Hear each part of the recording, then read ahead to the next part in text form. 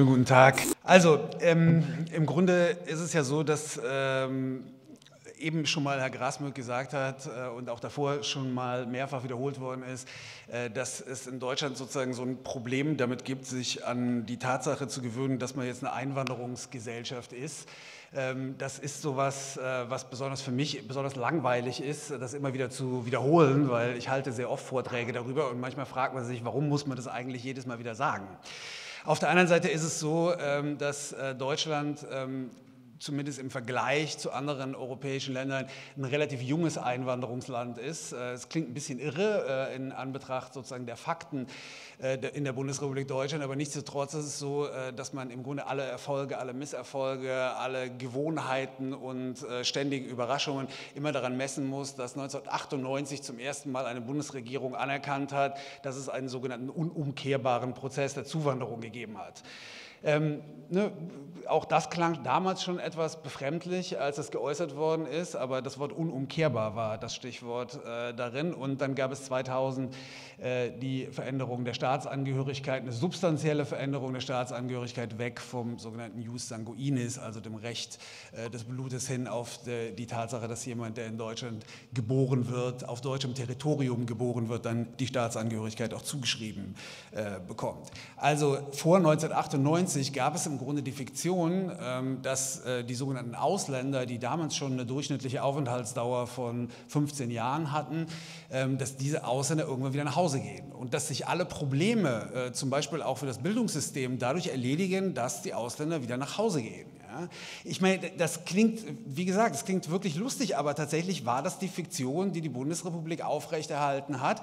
Äh, und das hat natürlich auch im Grunde äh, sozusagen die politischen Maßnahmen lange Zeit äh, geprägt. Und erst in den wie auch immer, Nullerjahren äh, hat man dann angefangen, sich mit der Tatsache auseinanderzusetzen, dass die Bevölkerung jetzt äh, sozusagen eine Vielheit äh, geworden ist und dass man diese Bevölkerung äh, gewissermaßen mit dieser Bevölkerung umgehen muss, mit dieser Bevölkerung arbeiten muss. Äh, und äh, die Kanzlerin hat es ja in der Regierungserklärung für die Große Koalition nochmal gesagt, Deutschland, das sind wir alle, ob wir einen Migrationshintergrund haben oder nicht. Aber das ist quasi ähm, immer noch was, was die Kanzlerin in einer Regierungserklärung von 2018 18 sagen muss. Insofern ist es so, äh, dass äh, quasi die Reaktionen, ähm, zumal im Bildungsbereich, äh, auch welche sind, die eine gewisse Eingefahrenheit haben. Also wenn man lange Zeit Dinge einfach auf eine gewisse Art und Weise gemacht hat, dann nimmt man sozusagen das nächste, was passiert, im Raster dessen wahr, was man schon vorher immer gemacht hat. Das heißt, wenn jetzt sozusagen eine große Anzahl von Geflüchteten in die Bundesrepublik kommt, wie zum Beispiel im Jahr 2015, dann ist das quasi immer noch so eine Art Erscheinung. Ja, also das ist so, oh, jetzt kommen all diese Fremden in die Bundesrepublik, jetzt wissen wir gar nicht, was wir machen sollen. Und für äh, das Schulsystem war es dann auch wieder die Diskussion, die vorhersagbar war, nämlich die Diskussion darüber, dass jetzt echt so viele Quereinsteiger an deutschen Schulen sind. Wenn man sich äh, nun so ein bisschen auskennt äh, mit der Debatte über, dem, über Migration in der Bundesrepublik, dann ist es natürlich so, dass einem die Diskussion über Quereinsteiger relativ stark im Ohr klingelt, weil es so war, dass man in den 70er Jahren bereits über die Gastarbeiterkinder diskutiert hat, zu viele Quereinsteiger an deutschen Schulen. Äh, danach wurden aus diesen Gastarbeiterkindern die sogenannten Ausländerkinder, zu viele Quereinsteiger an deutschen Schulen. Dann in den 90er Jahren gab es ja schon mal äh, eine große Einwanderung von Geflüchteten in die Bundesrepublik, Kinder mit Fluchtgeschichte, zu viele Quereinsteiger. Äh, und dann sozusagen waren die Kinder mit Migrationshintergrund aus den Ausländerkindern wurden die Kinder mit Migrationshintergrund. Die waren dann die Quereinsteiger und jetzt diskutieren wir wieder über die Kinder mit Fluchtgeschichte als Quereinsteiger äh, an deutschen Schulen. Das ist eine erstaunliche, erstaunliche äh, Diskussion ähm, in Anbetracht der Tatsache, äh, dass Einwanderung äh, vergleichsweise normal ist. Ja? Also wenn wir nochmal uns die Zahlen vielleicht vor Augen führen, also 2015 eine Million, ja? also das war äh, sozusagen die Zahl, die da so im Vordergrund stand und dann denkt man, ja, eine Million das ist echt viel. Ja? Aber ähm, wenn Sie sich mal die Zahlen angucken, äh, mit denen uns äh, das Statistische Bundesamt penibel genau versorgt, dann können Sie feststellen, zwischen, wenn Sie das zusammenrechnen, zwischen 1965 und 2014 sind 71 Millionen Leute entweder in die Bundesrepublik gezogen für permanenten Aufenthalt oder hatten permanenten Aufenthalt in der Bundesrepublik und sind aus Deutschland weggezogen. Was bedeutet, wir haben sozusagen eine Fluktuation von circa anderthalb Millionen im Jahr.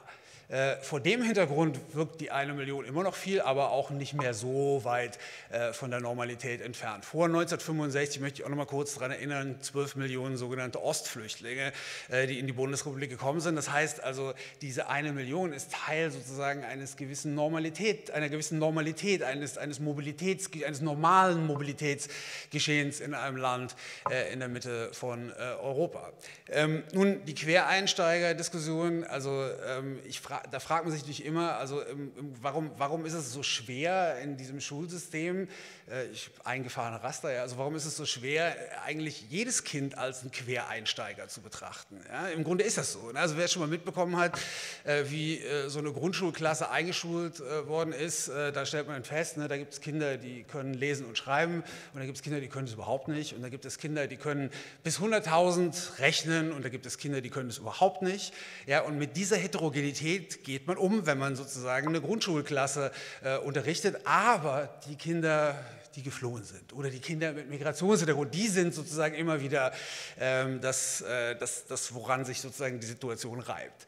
Ja, und das hat natürlich auch, wie gesagt, nochmal also mit einer gewissen eingefahrenen Wahrnehmung zu tun. Also wenn Sie vor zehn Jahren, äh, wenn Sie nochmal zehn Jahre zurückkehren äh, zur Diskussion über, über Pisa, die dann das erste Mal sozusagen den PISA-Schock ausgelöst hat, dass wir doch echt nicht so gut sind, wie wir immer dachten, äh, was das Schulsystem betraf. Äh, dann gab es eine Diskussion, die vor den Kulissen geführt worden ist und eine Diskussion, die hinter den Kulissen geführt worden ist. Und vor den Kulissen hat man schon gesagt, ja, das deutsche Schulsystem ist schon sehr selektiv und wir wissen sozusagen, dass äh, Kinder mit Migrationshintergrund oder Kinder aus Unterschichtsfamilien oder Kinder auch aus Familien, in denen die Eltern Handarbeit äh, verrichten, äh, dass die benachteiligt sind und wir müssen daran was ändern. Aber sozusagen hinter den Kulissen war das sehr häufig auf Konferenzen und in der Politik so, dass dann gesagt worden ist, naja, wenn wir die rausrechnen, dann stehen wir gar nicht so schlecht da.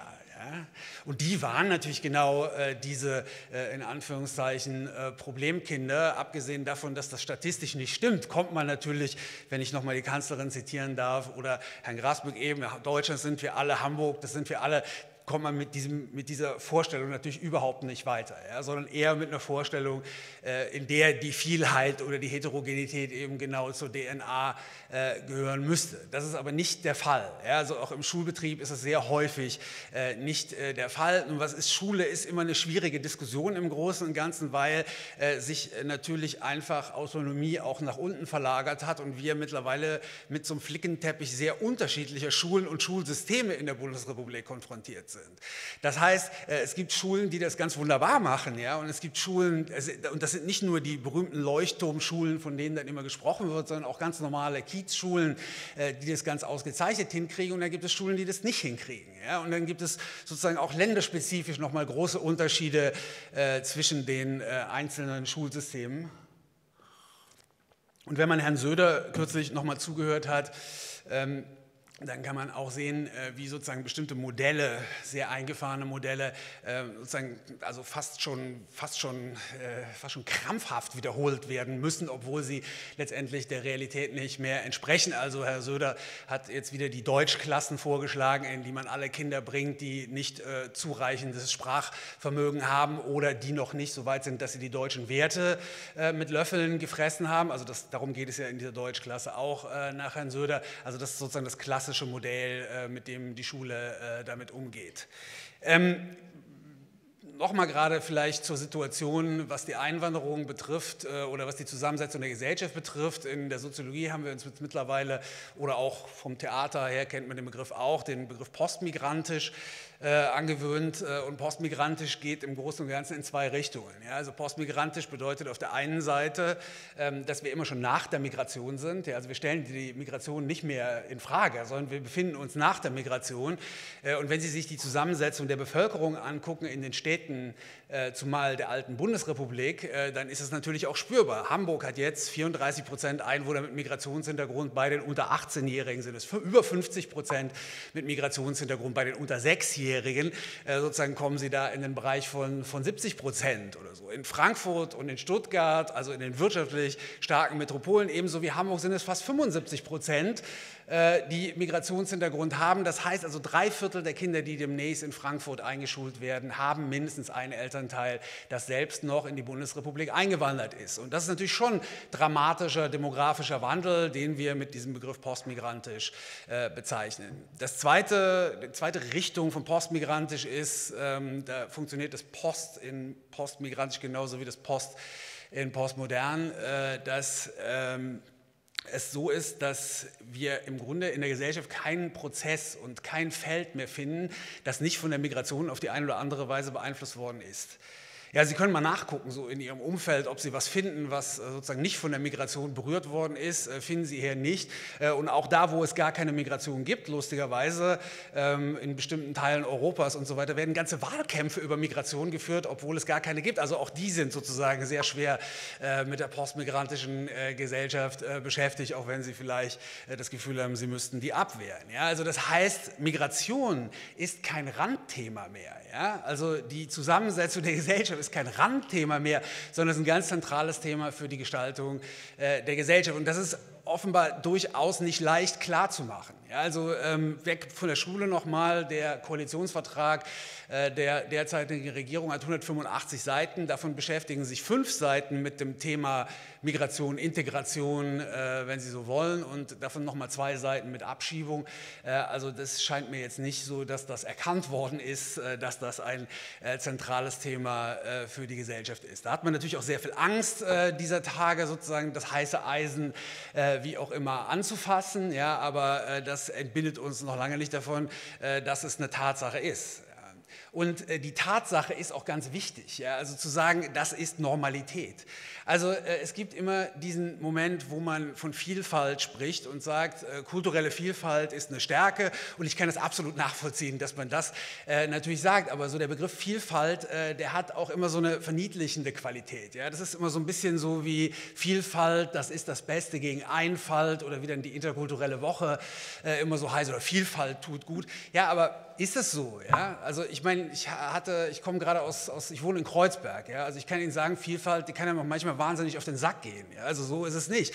Oder äh, wenn neben Ihnen plötzlich äh, Hunderte von Leuten einziehen, äh, die aus einem anderen Land geflohen sind, dann muss ich doch niemandem erzählen, dass es jetzt echt eine tolle Sache ist, dass es so ist. Ja? Äh, sondern äh, das gibt auch eine Berechtigung zu sagen, irgendwie so, ja, da, das, das, da knirscht es im Gebäck oder so. Aber es geht einfach darum zu sagen, das ist so. Ich muss das gar nicht bewerten. Ich muss gar nicht äh, sozusagen erklären, dass das eine tolle Sache ist, äh, die Vielheit der Gesellschaft. Und deswegen benutze ich auch diesen etwas stärkeren philosophischen Begriff, ist schlicht und ergreifend eine Tatsache, von der ich ausgehe, äh, wenn ich sozusagen politisches Handeln gestalte oder wenn ich über den Bildungsbereich nachdenke. Das ist nicht begründungsbedürftig. Es wäre völlig irre, das begründungsbedürftig zu machen. Ähm, nun ist es so, also dass der Begriff, äh, mit dem wir für gewöhnlich versuchen, sozusagen die Einwanderungsgesellschaft zu bearbeiten, der Begriff der Integration, und ich glaube, äh, dass äh, wir gut daran tun, diesen Begriff auf absehbare Zeit nicht nur in Frage zu stellen, sondern auch loszuwerden. Ich glaube, dieser Begriff transportiert weiterhin Annahmen, die uns daran hindern, die richtigen Maßnahmen zu ergreifen. Ja, Integration hat sich auch verändert, darüber kann kein Zweifel bestehen. Also wenn Sie jetzt sozusagen in die auch oft sozusagen bürgerschaftlich gemeinsam erarbeiteten Integrationskonzepte schauen, dann stellen Sie natürlich fest, dass das sozusagen Bündel von Maßnahmen ist, das sozusagen für mehr Teilhabe und mehr Chancengleichheit gedacht ist, dass Integration als Querschnittsaufgabe verstanden wird, dass betont wird, Integration sei keine Einbahnstraße. Ähm, aber äh, sozusagen Integration hat weiterhin einen ständig abrufbaren, sozusagen normativen Kern. Und dieser normative Kern erklärt im Großen und Ganzen, da gibt es uns, äh, wir waren hier schon immer in dieser Gesellschaft und wir sind auch die Richtigen in dieser Gesellschaft und wir haben die richtigen Voraussetzungen. Und dann gibt es Sie, Sie sind äh, zu uns dazugekommen dazugekommen und sie weisen im Großen und Ganzen bestimmte Defizite auf. Äh, und wenn Sie sich mal die Defizitdiskussionen anschauen, wenn Sie überhaupt die Diskussionen über Migration angucken in den letzten 40 äh, Jahren, dann stellen Sie fest, es geht immer um Sprachprobleme, es geht immer um patriarchale Familienverhältnisse und es geht immer um in Anführungszeichen Ghettobildung, mittlerweile als Parallelgesellschaft bezeichnet. That's it. Darüber diskutieren wir seit 40, 50 Jahren äh, in diesem Bereich. Und das entspricht nicht der Realität vor allen Dingen, ne, weil mittlerweile haben wir natürlich auch eine Mittelschicht mit Migrationshintergrund, an wie vielen türkischen Namen ich auf dem Weg hierhin äh, vorbeigelaufen bin, äh, wo Arztpraxis dran steht äh, und so weiter, ja, was natürlich eine viel größere Bedrohung äh, bedeutet als Einwanderung per se, wenn Leute sozusagen plötzlich in meinem direkten Umfeld als Konkurrenz auftauchen, wenn ich Akademiker bin. Ja, die populistische Diskussion hat sicher dieser Tatsache sehr viel zu verdanken, äh, aber natürlich auch sozusagen, was die Einwanderung generell betrifft. Ja? Also Einwanderung ist nicht mehr so wie in den 60er Jahren, obwohl man natürlich mit den Folgen davon lebt, sondern es gibt eine Einwanderung durch alle Segmente des Arbeitsmarktes äh, dieser Tage von sehr hochqualifiziert bis sehr niedrig qualifiziert. Das heißt, äh, sozusagen diese Diskussion entspricht äh, auf der einen Seite der Realität nicht mehr, hat aber auch sozusagen so eine bestimmte Art des prägt eine bestimmte Art des Umgangs. Das bedeutet, ähm, im Großen und Ganzen wird ähm, Integration immer in Sonderklassen, in Sonderprojekten abgehandelt, die darauf abzielen, diese angenommenen Defizite zu kompensieren und zu korrigieren. Und das Ganze findet ganz oft auf Projektbasis äh, statt. Also wenn Sie sich die Integrationskonzepte angucken, dann ist es ganz oft so, ja klar, interkulturelle Öffnung der Verwaltung, das ist schon ein Thema geworden, da komme ich nochmal darauf zu sprechen, aber auf der anderen Seite sind das ganz viele aneinandergereihte Projekte und wer in diesem Bereich tätig ist, äh, der weiß, dass es äh, sehr, sehr oft Projekte sind. Was aber das Problem ist bei diesen Projekten ist, dass sozusagen, ich meine, ich habe Psychologie studiert, ja, das heißt, als Psychologen sind wir natürlich darauf angewiesen, dass Leute Problem haben. Und, und, Sozialpädagogen sind darauf angewiesen, dass Leute Probleme haben. Niemand hat die Förderschule härter verteidigt als die Lehrer dort. Ja. Und äh, Pädagogen insgesamt haben wahrscheinlich auch ein Interesse daran, dass Leute Probleme haben. Also das heißt, sozusagen, wenn sie das so organisieren und das äh, sozusagen als Defizitkompensation auf Projektbasis stellen, dann müssen wir alle quasi notwendig, auch weil wir eine Folgeförderung brauchen, äh, daran mitarbeiten, das Bild vom armen, bedürftigen, defizitären Migranten aufrechtzuerhalten, obwohl es falsch ist. Ja, und man konnte sozusagen in der Diskussion über Geflüchtete auch ganz gut sehen, wie alle quasi fast erleichtert zu diesem richtig alten, also jetzt brauchen wir jetzt diese ganze interkulturelle Öffnung, ist echt viel Arbeit. Also, also jetzt können wir endlich mal wieder über Integration äh, reden, weil da waren die Leute, die wirklich die Sprache nicht konnten. Ja. Nur der Punkt ist äh, sozusagen, also jetzt nochmal über die Quereinsteiger. Also ähm, was erstaunlich ist, obwohl wir so oft über Sprachprobleme diskutieren, ähm, gibt es in Deutschland extrem wenig pädagogische Konzepte für frühkindlichen Spracherwerb für Deutsch.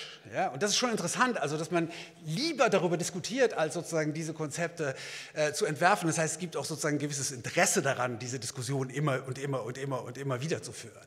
Das heißt, äh, wir brauchen im Grunde keine Deutschklassen, so wie Herr Söder äh, sich das vorstellt, äh, oder wie das sonst in Auffang- und Willkommens- und Sprachklassen und so weiter organisiert ist, sondern braucht im Grunde eine Idee darüber, wie sozusagen Spracherwerb in den Regelunterricht hineingebracht wird. Und tatsächlich gibt es ja gute Vorbilder dafür. Schweden und Kanada zum Beispiel machen das so. Da kommen Kinder nicht in Sondermaßnahmen, sondern die werden alle sofort im Regelbetrieb beschult.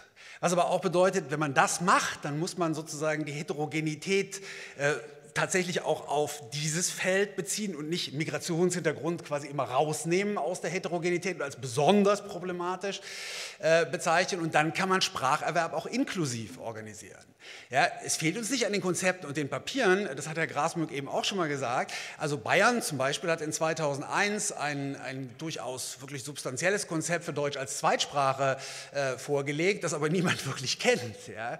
Und Deutsch als Zweitsprache ist ja sozusagen die Idee, Deutsch im Regelunterricht zu vermitteln. Also Kanada macht das über fünf bis acht Jahre im Regelunterricht mit Englisch als Zweitsprache, ähm, wo natürlich es darauf ankommt, dass alle Lehrer sozusagen dieses, äh, diese, diese, diese Fähigkeit, Deutsch als Zweitsprache zu vermitteln haben. Wenn Sie ein, ein offeneres Klassenzimmer haben, also wenn Sie nicht mehr Frontalunterricht machen, wie das ja jetzt an vielen Grundschulen auch der Fall ist, dann sind Sie natürlich mit den ganzen Schulhelfern und Sozialpädagogen, wenn Inklusion auch noch gemacht wird, äh, und Pädagogen, die ohnehin alle im Klassenzimmer sind, durchaus in der Lage, den Spracherwerb inklusiv äh, zu organisieren. Ja, und auch bei den Kindertagesstätten äh, gäbe es da sehr viel Bedarf, sozusagen in diese Richtung äh, Fortbildung zu machen. Ich meine, äh, Erzieher, Erzieher, Erzieherin, ich meine, das ist mittlerweile eigentlich ist ein Studium. Ja, also das ist auch noch nicht was, äh, wo man, also man, man, sagt zwar die ganze Zeit, die Kitas, wir müssen das alle richten, aber äh, dass es ein Ausbildungsberuf ist, der das gar nicht beinhaltet, vom Curriculum her auch diesen Sprachunterricht zu machen, das wird dabei eigentlich gar nicht mitgedacht und dann gibt man einfach nur den Druck nach unten weiter, ja, weil die sollen es dann äh, im Großen und Ganzen machen, aber äh, so äh, ist, geht das natürlich nicht. Ja. Also das äh, bedeutet, ähm, da ist einfach sehr viel zu tun an der Umstrukturierung des Regelbetriebes der Schulen selbst. Ähm, worauf es im Grunde ankäme, wäre sowas aufzustellen. Ähm, also ich habe früher auch von Interkultur oder interkulturellen Eröffnung äh, gesprochen. Damit habe ich auch so ein Problem mittlerweile bekommen, weil natürlich immer dieser Begriff Kultur drin ist. Ähm, man sagt es auch immer so selbstverständlich, Menschen aus anderen Kulturen. Ich weiß überhaupt nicht, was das ist. Also was ist das, Menschen aus anderen Kulturen? Ja, wie ist man eigentlich, wenn man aus einer anderen Kultur ist? Und wie, immer, wie ist man, wenn man aus der Kultur ist? Ich weiß es nicht. Also irgendwie versuchen Sie das mal zu erklären, was das ist aus einer anderen äh, Kultur. Aber das ist sowas auch wieder so selbstverständlich, äh, sagt man äh, diese Begriffe. Ich meine, Migrationshintergrund klingt auch nicht super oder Off-Color oder was weiß ich, was wir für Begriffe nehmen. All diese Begriffe leben im Grunde davon, äh, dass sie natürlich eigentlich auf ihre eigene Überwindung abzielen. Aber ich kann natürlich nicht ohne Begriffe auskommen. Das heißt, wenn ich nicht über Migrationshintergrund spreche, was ich eigentlich gar nicht tun möchte, äh, dann kann ich aber auch nicht Benachteiligung diskutieren. Also die Personen mit Migrationshintergrund äh, haben äh, in Deutschland ein Armutsrisiko von 27,3 Prozent. Äh, also das ist ein Erbe sozusagen der Unterschichtung der 60er Jahre. Wenn Sie deutscher Herkunft haben, haben Sie ein Armutsrisiko von etwa 13 Prozent. Äh, und das ist natürlich Benachteiligung. Ne? Darüber müssen wir reden. Aber ich kann darüber nur reden, wenn ich über Migrationshintergrund rede. Also irgendein Wort äh, brauche ich. Aber aus anderen Kulturen wiederum macht daraus so etwas Substanzielles und nichts, was sozusagen der Überwindung ähm, bedarf. Also der ähm, Begriff Interkultur, ähm, ich benutze den nicht mehr so gerne, sondern ich spreche jetzt in Ableitung von Vielheit, von Vielheitsplänen, äh, die anzufertigen sind. Äh, und in Bezug auf das Bildungssystem fragt man sich natürlich, wo wäre denn dieser Vielheitsplan für das Bildungssystem? Also ähm, es gibt natürlich sehr, sehr viele Maßnahmen im Bereich Bildung und wie gesagt, es gibt Schulen, die es besser und schlechter machen, aber es gibt relativ wenig Bemühungen darum, tatsächlich einen wie auch immer umfassenderen Vielheitsplan aufzustellen, der eigentlich notwendig wäre für alle Institutionen, Organisationen, Einrichtungen in der Bundesrepublik, zumal die, die aus Steuergeldern äh, finanziert wird. Das ist auch ein Perspektivwechsel. Ja? Wir gucken jetzt einmal nicht mehr auf die Kinder mit Problemen äh, oder die Kinder mit Defiziten, sondern wir gucken auf die Defizite der Institutionen. Ja, also wir schauen uns an, ist diese Institution eigentlich ausgerüstet für die Vielheit der Gesellschaft, die wir nicht mehr hinterfragen, sondern die wir voraussetzen als Handlungsfokus. Ja, und das äh, ist sozusagen der, der Ursprung dieses Vielheitsplans. Und da geht es um ganz verschiedene Dinge. Ja, da geht es um, äh, sozusagen, ich kann das, habe die umfassende Zeit, das jetzt alles durchzubuchstabieren, aber nur mehrere Punkte angesprochen. Ähm, da geht es natürlich zum Beispiel um das Personal ähm, an Schulen. Ja, wenn Sie, äh, auch das hat Herr Grasmück eben gesagt, wenn Sie in die Klassen gehen, oder, oder ich war es, äh, äh, Amelie gerade, äh, wenn Sie in eine, in eine, Schulklasse gehen, in der Grundschule, äh, dann sehen Sie diese Vielheit äh, natürlich. Ja, die springt sofort ins Auge in, den, in den Grundschulen der Republik, aber auch in den weiterführenden Schulen. Ja, wenn Sie aber an diesen Schulen ins Lehrerzimmer gehen, ja, da ist von Heterogenität im Großen und Ganzen keine Spur mehr. Ja, und das ist natürlich auch besonders dann, wenn es die sogenannte Problemschule ist, dann ist da ganz oft Lehrpersonal, äh, das nicht in dem Viertel wohnt, wo die Schule steht, sondern in einem Viertel, wo wenig Personen mit Migrationshintergrund leben, äh, dass die im Bekanntenkreis wenig Personen mit Migrationshintergrund haben, deren Kinder auf Schulen gehen, wo wenig Kinder mit Migrationshintergrund äh, sind und die im Großen und Ganzen aus einer Schicht stammen, die man als bildungsbürgerlich charakterisieren würde. Also wir können das Milieu wahrscheinlich noch genauer bestimmen mit Sinus oder ähnlichem, aber aber Sie wissen ungefähr, wovon ich rede. Ja? Und ähm, das hat man, da hat man natürlich auch die entsprechenden Vorurteile. Ja? Also wenn Sie sozusagen mit so, also die deutsche Mittelschicht zum Beispiel ist extrem technikfeindlich.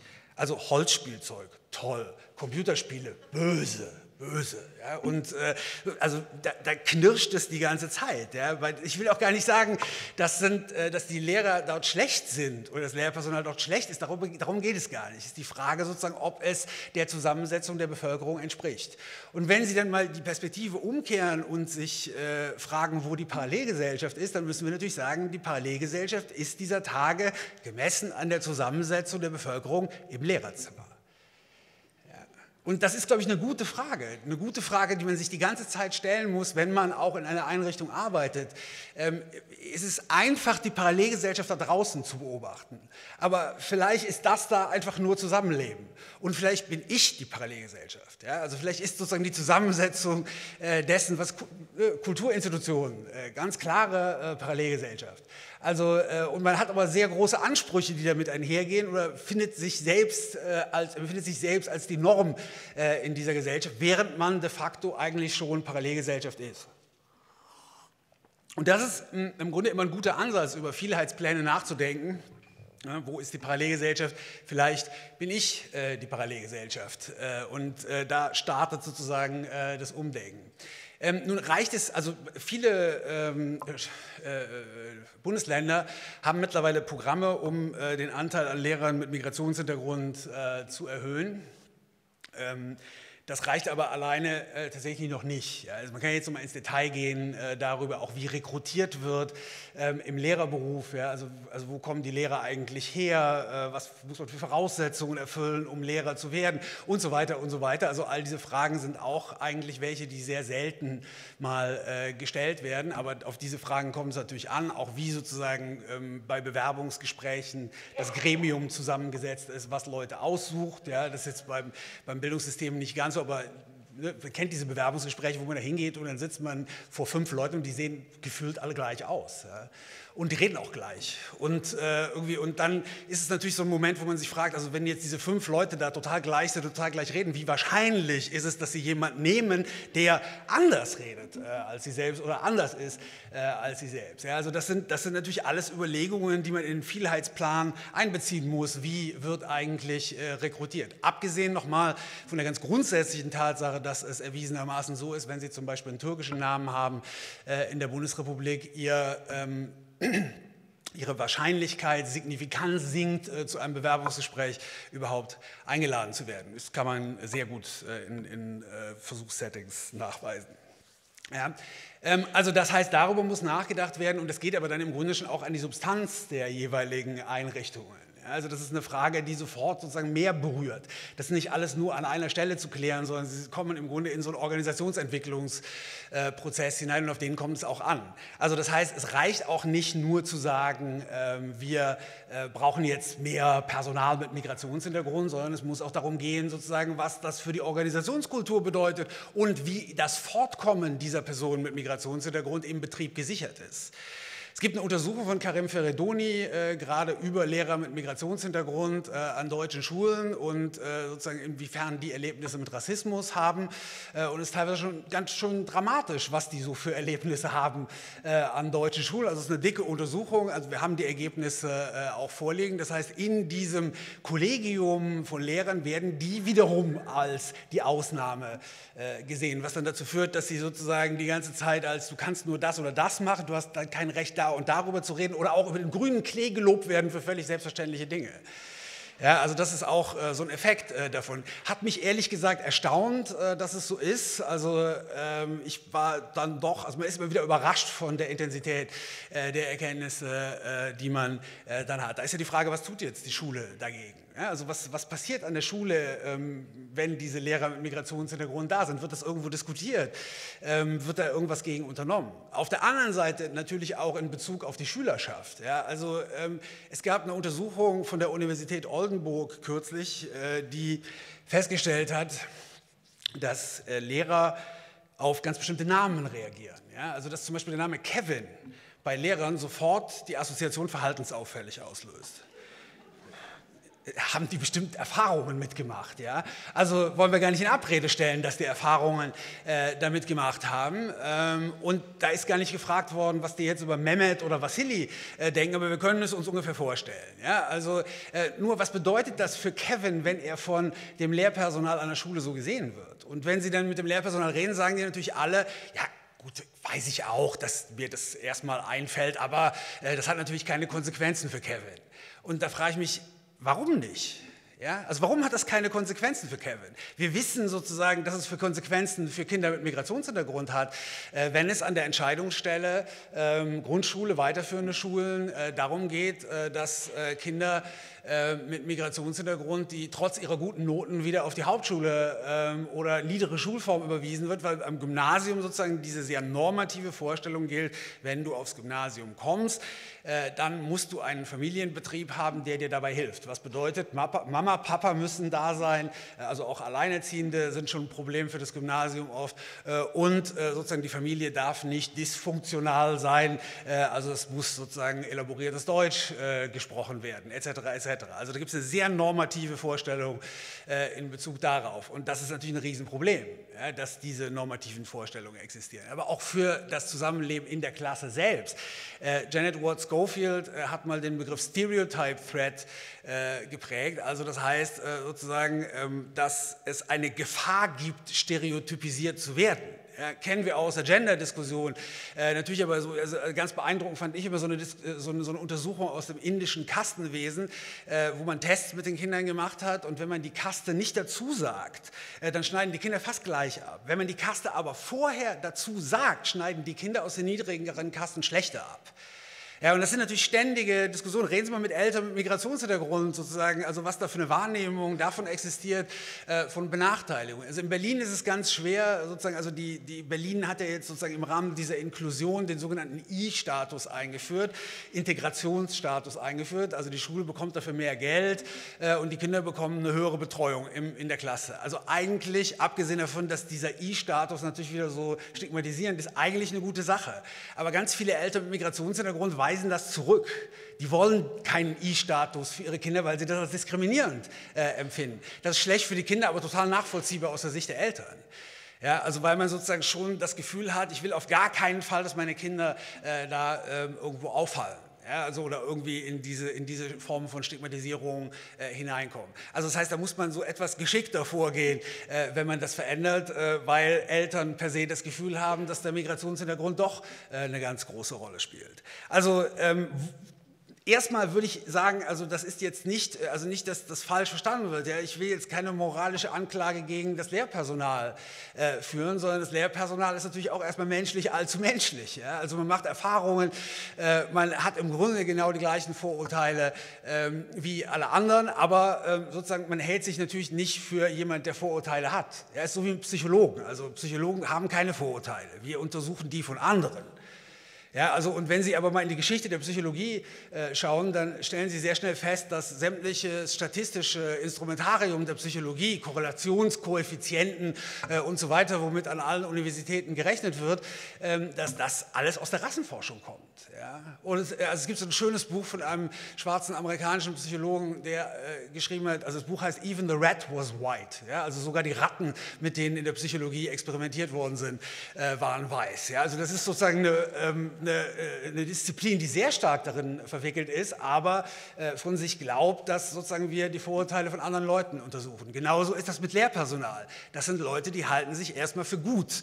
Das heißt, wenn Sie die damit konfrontieren, äh, mit einer Rassismusdiskussion, zum Beispiel konfrontieren, dann sozusagen ist die Abwehr dessen natürlich besonders groß. Also das heißt, wo ist da jetzt, wo sind die Prozesse innerhalb der Schule, die das aufgreifen? Es geht gar nicht darum, dass das passiert. Nochmal, menschlich, allzu menschlich. Es geht, abgesehen von Leuten, die es wirklich, äh, die wirklich bösartig sind, in der Hinsicht sind es auch einfach nur Dinge, die eingefahren sind. Raster, mit denen man immer äh, gearbeitet hat. Also wo ist sozusagen die, wo sind die Formen von Organisationsentwicklung, mit denen man das angeht? Also wenn wenn Sie jetzt einen, also in Berlin wird die ersten drei Jahre, ähm, ich glaube, es ist in Hamburg auch, also wird jahrgangsübergreifendes Lernen gemacht an den Grundschulen. Ähm, und Jühl-Klassen sind natürlich per se Klassen, in denen die Homogenität aufgelöst ist. Ja. Also die, Sie haben Schüler aus der ersten Klasse, die mit Drittklässlern zusammen lernen und so setzt sich sozusagen die Schulklasse im Grunde ständig neu zusammen, je nach äh, den Leistungen, die die Kinder bringen. Das bedeutet aber auch, dass sie sozusagen nur teilweise noch Frontalunterricht machen, sondern ansonsten sozusagen die Kinder sich auch gegenseitig coachen, viel mehr Lehrpersonal im Raum ist und so weiter. Also das ist auch ein großes Kunstwerk, äh, wenn man sich so eine Jühl-Klasse mal anschaut. Aber da haben sie die, die Homogenität im Grunde oder die Homogenitätsvorstellungen, die Lehrpersonal hat im Grunde schon durchbrochen. Was auch bedeutet, plötzlich wird das Klassenzimmer offen und plötzlich wird das Klassenzimmer diskutierbar. Plötzlich wird das diskutierbar, was im Klassenzimmer passiert. Warum wird, gibt es dafür nicht noch obendrauf Verfahren von Supervision, um festzustellen, was im Klassenzimmer ähm, passiert? Ja. Ähm, dann ist natürlich die Frage, wie wird überhaupt mit Konflikten umgegangen? Also wenn jetzt an der Schule sozusagen, also wenn, wie gesagt, wenn Sie mit Eltern mit Migrationshintergrund reden, da ist ganz oft diese, ja der Lehrer, der hat Probleme mit Türken, Russen, was weiß ich was. Ja. Also der, und, aber ich meine, es kann ja nicht sein, dass das sozusagen unbeantwortet bleibt, dass die, dass die Eltern genau das denken. Also wo ist die Elternarbeit, die das thematisiert? Wo sind sozusagen die Formen von Konfliktverarbeitung äh, in dem Moment? Also äh, der Schulfrieden spielt eine ganz große Rolle ja, und unter dem Schulfrieden deckt man dann eher Konflikte zu, als dass man sie äh, thematisiert auf eine gewisse Art und Weise. Und man muss natürlich auch Verfahren haben, indem man sie thematisiert. Man kann nicht den ganzen Tag streiten, das ist vollkommen klar. Ja? Also ähm, sozusagen, wo sind all diese Stellpunkte, die man äh, da ähm, mit äh, hineinnehmen könnte. Ja. Wo ist das Training on the Job? Wo sind die Reflexionsräume und so weiter und so weiter. Also ich will da gar nicht, äh, da kann man noch sehr lange äh, drüber sprechen, wie das äh, sozusagen äh, zu regeln äh, wäre. Aber da kann ich keine sozusagen systematische Bemühung feststellen, was das betrifft. Ähm, es gibt allerlei Versuche, das ist eben auch schon mal erwähnt worden, ja, es gibt sozusagen Konzepte dafür, von denen aber oft nicht klar ist, wie sie eigentlich in den Schulbetrieb äh, übersetzt werden. Einzelne Schulen, wie gesagt, machen diese Dinge auch oft schon, äh, aber dann quasi auf eigene Rechnung. Also das heißt, wir haben so eine Art Flickenteppich momentan sehr, sehr unterschiedlicher ähm, Arten und Weisen, wie Dinge äh, gemacht werden. Und das äh, finde ich erstmal nicht zufriedenstellend. Ja, also äh, man kann darauf drängen, dass da mehr in Richtung Vielheitsplan äh, unternommen wird. Ich will ähm, jetzt noch was sagen sozusagen zu, zu diesem Thema kulturelle Bildung, weil das eben angesprochen worden ist. Äh, und ähm, da auch nochmal sagen, dass ich natürlich überhaupt nicht nachvollziehen könnte, warum das Kulturagentenprogramm nicht mehr äh, gemacht werden soll, weil das natürlich ein äh, extrem gutes äh, Programm ist. Aber natürlich auch bei dem Kulturagentenprogramm immer die Frage ist, welchen Status hat das eigentlich an der Schule? Ja, also wie ist das implementiert in, äh, äh, den, in den schulischen Betrieb? Ist es implementiert oder läuft es eigentlich nur nebenher? Äh, also wie wird das eigentlich ganz genau gemacht? Das heißt, die künstlerischen Prozesse, die da stattfinden ähm, und die wir erstmal gut finden, auch in dem Sinne, äh, dass sie es ermöglichen, sozusagen experimentelle ästhetische Ansätze in die Denkweise mit hineinzubringen. Ähm, wo finden die statt und wie finden die statt in Bezug auf die anderen Unterrichtsformen äh, an dieser Schule? Das ist alles was, äh, worüber man sehr viel nachdenken könnte und wo, wo es auch sehr viele Beispiele dafür gibt, wie man darüber nachdenken kann. Nun habe ich an dem Begriff kulturelle Bildung zugegebenermaßen mindestens genauso viel Kritik wie an dem Begriff Integration. Weil ich finde sozusagen, dass dieser Begriff ähm, äh, ganz, ganz viele Vorannahmen macht, äh, von denen man nicht weiß, äh, worauf sie eigentlich hinauslaufen. Also ich konnte feststellen, dass kulturelle Bildung in dem Moment ins Spiel kam, als der erste nationale Integrationsplan 2007 ähm, äh, in die Welt kam. Und dieser nationale Integrationsplan äh, den Bildungsinstitutionen, auch den Kulturinstitutionen zumal gesagt hat, ihr müsst euch öffnen ja, weil äh, die Bevölkerung äh, hat sich jetzt verändert und deswegen müsst ihr Öffnungsprozesse anstoßen. Aber anstatt sozusagen diese Öffnungsprozesse konsequent äh, in äh, Angriff zu nehmen, kam dann der Begriff kulturelle Bildung. Ja, und da hat man natürlich so ein bisschen das Gefühl, als ob da sozusagen dieser Moment ist, naja, also unsere Angebote, zumal bei Kulturinstitutionen, die sind echt super ähm, und wir wissen ja, was wir tun ne? und wir haben auch ganz bestimmte Ideen von Qualität äh, und äh, deswegen müssen die Leute, die jetzt nicht dahin gehen, erstmal dazu gebracht werden, die richtigen Voraussetzungen zu bekommen, damit sie das überhaupt in Anspruch nehmen können. Und das das wird dann sozusagen auf die Schule mit runterbuchstabiert, die dann quasi darauf vorbereiten soll, äh, dass äh, genau diese Angebote wahrgenommen äh, werden. Und da wird es für mich problematisch, ja? also weil es sozusagen da, weil da sozusagen auch kein Austausch mehr, weil es da keine Idee mehr von Austausch oder auch von gegenseitigem Lernen gibt. Also wenn ich nochmal auf Kevin zurückkommen darf oder auf Mehmet oder Vassili, ähm, vielleicht kann man von denen auch was lernen. Ja, also ne, Kevin zum Beispiel, extrem technikaffin, der kennt sich voll aus mit seinem Handy. Ja, äh, Lehrer ganz oft eher nicht. Ja. Ähm, Kevin, äh, also Mehmet und Vassili, irgendwie so, äh, die sind sehr polyglott, äh, Lehrer äh, häufig äh, eher nicht. Ja. Ähm, dann äh, sozusagen verrichten diese Kinder und Jugendlichen alle enorme ästhetische Arbeit. Das ist ein Begriff, den ich mir von Gernot Böhme äh, geliehen habe, also ästhetische Arbeit. Ich stehe da morgens immer ganz bewundernd, äh, wenn die Schüler in das große Oberstufenzentrum äh, neben mir in Berlin gehen ähm, und also manchmal guckt man sich wirklich an und denkt, wow, also bestimmt eine halbe Stunde vor dem Spiegel verbracht in puncto Kosmetik und Klamotten sozusagen, um, die, um sozusagen eine bestimmte Atmosphäre an sich selbst äh, zu erzeugen. Ja? Das ist ästhetische Arbeit. Das muss man ja nicht geringschätzen. Ja? Also wenn ich darüber nachdenke, wie ich sozusagen künstlerische Prozesse initiiere, haben die ja ja wohl offenbar was verstanden davon. Ich kann den Rothko erklären am eigenen Körper. Ja? Kein Problem.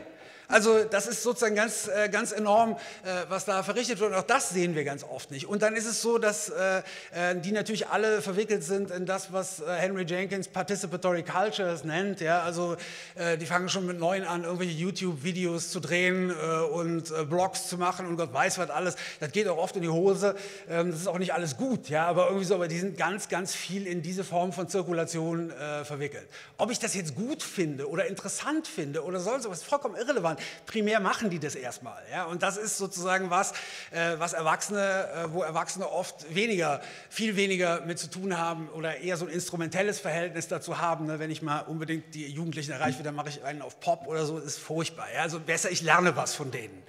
Ja, ich lasse mir was erklären. Ich gehe nicht davon aus, dass ich sozusagen, um die anzusprechen, besonders hip und cool sein muss. Ja, das ist äh, sozusagen eine typisch, typisch äh, erwachsene äh, Vorstellung. Das bedeutet aber auch sozusagen, dass man in dem Moment in so kollaborative Prozesse hineinkommt und ich benutze diesen Begriff Kollaboration ähm, habe hab ein Buch dazu gemacht, weil ich irgendwie bei mir Partizipation so ein bisschen zum Hals raushängt. Ja, also das ist auch ein Begriff, der irgendwie maßgeblich geschändet worden ist. Also wenn man äh, überlegt, dass irgendwie wahnsinnig viele Leute schon an sogenannten Partizipationsverfahren teilgenommen haben und die hatten dann die Ehre sozusagen darüber diskutieren zu dürfen, was die Politik eigentlich längst schon beschlossen hatte. Ja, das macht keinen Spaß. Also das heißt sozusagen, Kollaboration bedeutet etwas mehr. Kollaboration ist das Risiko, dass ich mich im Prozess auch verändere und dass ich sozusagen Differenzen anerkenne. Ja, also wir, wir, sind auch immer gerne bereit, also Deutschland ist im Grunde ein Land, das Postmoderne nie verstanden hat. Also wenn Sie äh, mal mit jemandem, also das Wort Postmodern wird in Deutschland auch eher pejorativ verwendet. Da sagt immer jeder, everything goes, ja, das ist Postmoderne. Stimmt überhaupt nicht. Also sozusagen, das hat eine lange Geschichte und es ging natürlich darum, äh, sozusagen gerade gegen die, die linken Dialektiker dieser Tage zu betonen, dass die Differenz eben nicht in einer Synthese aufgelöst wird oder dass die Differenz nicht in Integration aufgeht oder dass die Differenz nicht in Bildung Bildungserfolg aufgeht, ja, sondern dass die Differenz was ist, was sozusagen ständig äh, präsent ist und ständig sozusagen Verhandlungsmasse ist und das ist das, äh, was man äh, in kollaborativen äh, Verfahren macht. Und kulturelle Bildung ist da so kritisch. Ja? Also das äh, weiß ich nicht, ich weiß, man weiß auch immer nie, ob es Kunst ist. Also es gibt ja immer so, also in Deutschland ist ja auch immer die Rede Kunst und Kultur. Da frage ich mich, was ist jetzt das eine und was das andere? Und Kunst, das ist eigentlich das, was sozusagen die Kultureinrichtungen machen und die haben bestimmte Vorstellungen davon, was das ist, Objekt äh, und Qualität. Ob, also man kann jetzt mal fragen, ja, was ist denn Qualität? Und dann sagen die ja das, was wir machen. Ja, also im Grunde weiß das gar keiner mehr genau, was das eigentlich wäre ähm, Qualität. Äh, und Kultur, das ist das andere. Das ist das, was in den 60er Jahren so mit reingekommen ist. Kultur als ganze Lebensweise, populäre Kultur äh, und so weiter. Das ist das, was man mit den Leuten so macht. Ne? So, das ist Kultur. Das ist aber nie Kunst. Und warum eigentlich nicht? Weil es sollte Kunst sein. Also wenn Sie sozusagen eine Mixed Able Tanzkompanie haben, weil eben von Tanz äh, die Rede war. Also eine Mixed Able Tanzkompanie besteht ja nicht daraus, eine pädagogische Maßnahme für Behinderte zu machen, sondern äh, sozusagen behinderte Tänzer haben Bewegungsqualitäten, die ich nicht habe, weil ich keine Behinderung habe. Das heißt, ich kann diese Bewegungen nicht ausführen.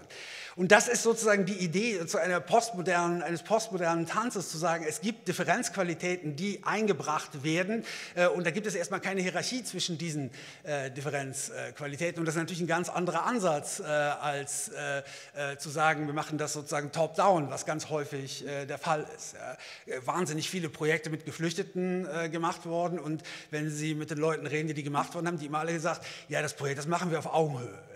Und denkst du, aha, also irgendwie, äh, also stehst da und du hast, verfügst über einen gesicherten Aufenthalt äh, und über enorme äh, sozusagen sprachliche Ressourcen, finanzielle Ressourcen ähm, und so weiter und, und hast mit Leuten zu tun, die all das nicht haben. Da gibt es keine Augenhöhe. Ja? Das ist totaler Unsinn. Also das heißt, ich kann ja nur die ganze Zeit die Autorität, die ausgeübt wird und die notwendig und immer ausgeübt wird, zirkulieren lassen.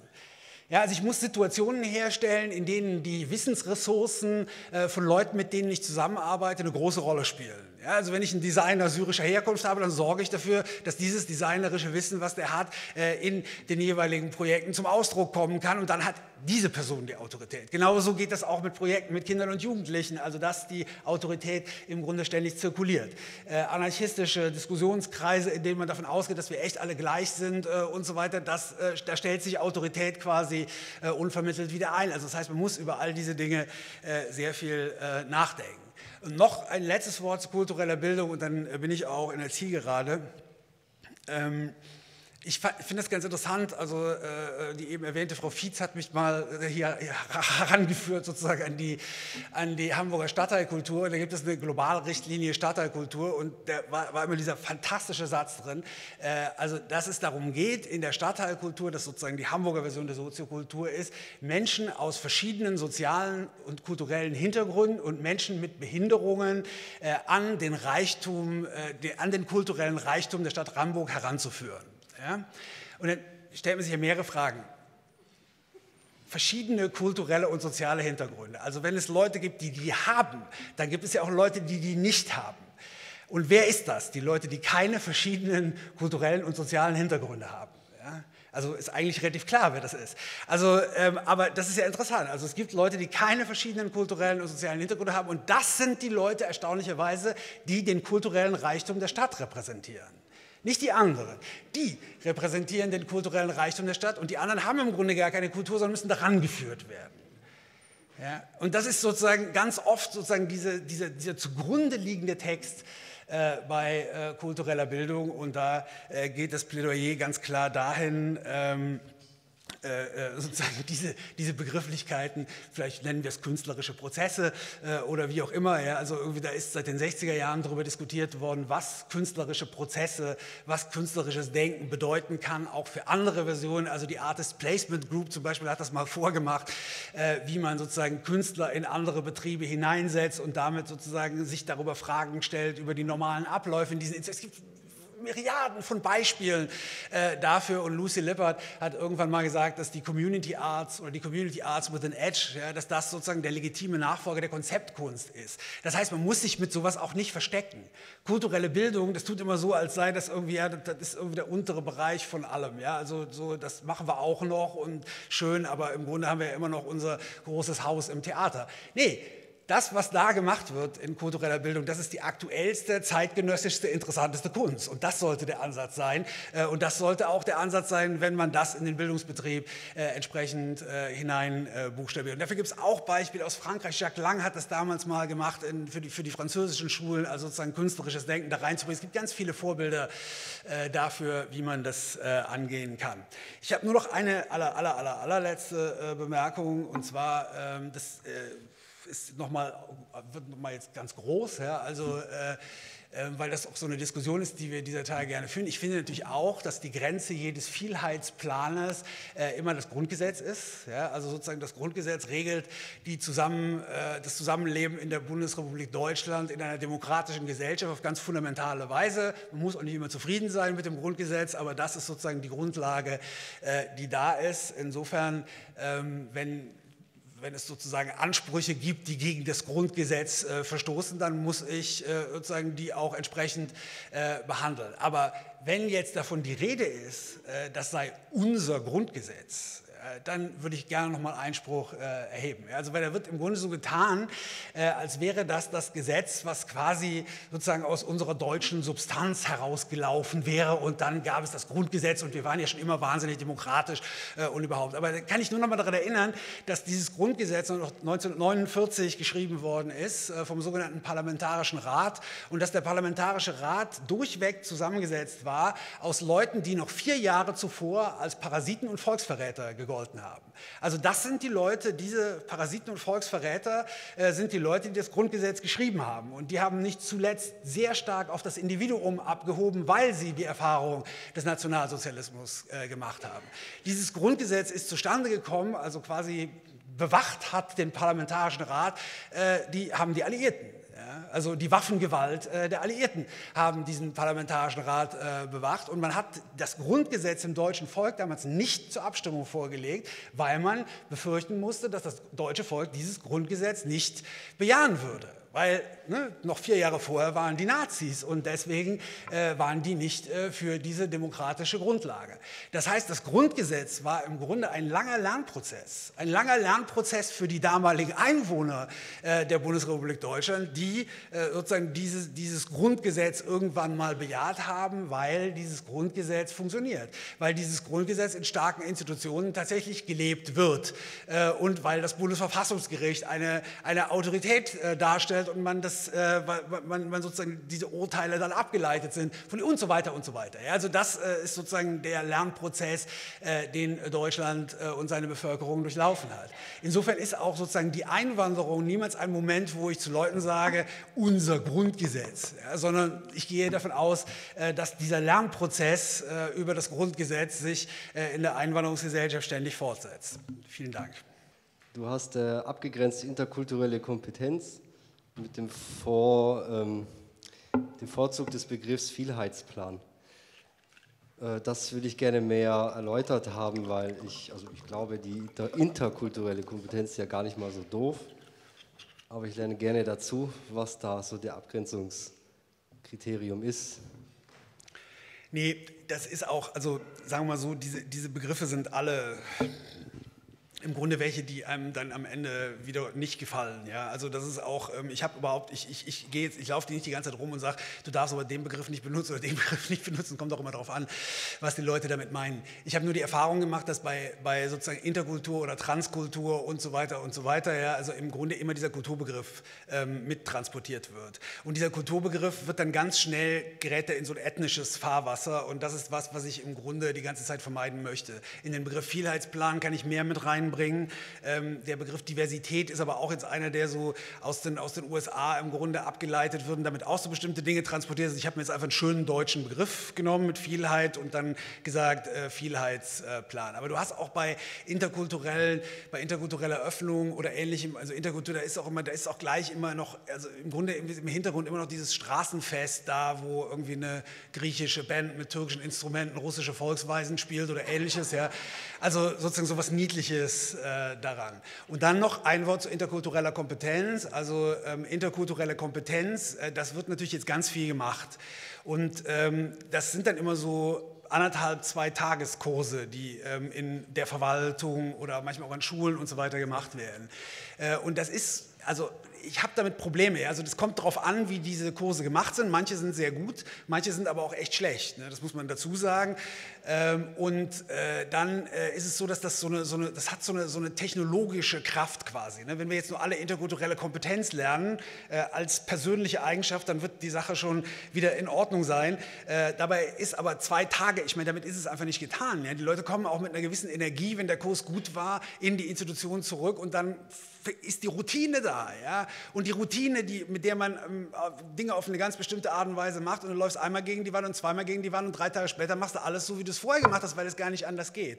Und das ist eben sozusagen Vielheitsplan, dem entgeht, es muss einen Plan geben und äh, sozusagen einen Plan, der die ganze Einrichtung äh, umfasst. Und dann musst du dir überlegen, wie viele Ressourcen äh, du hast und was du priorisierst in diesem äh, Prozess, von wem das eigentlich ausgeht. Also geht das sozusagen von den Leuten aus, die da arbeiten oder geht das von oben aus? All das sind Sachen, die, die Ansatzpunkte äh, bieten. Aber das ist auch nicht was, was in äh, einem Jahr erledigt ist, sondern das geht, das ist eine strategische Orientierung auf einen längeren Zeitrahmen. Ja, also das, das ist sozusagen der, die, die, die Energie dahinter. Ich bin aber, also ich halte interkulturelle Öffnung auch für einen vollkommen legitimen äh, Begriff und, und so, wie das auf institutionelle Veränderungen abgestellt ist oder so, meine ich auch durchaus das Gleiche. Ja. Dankeschön.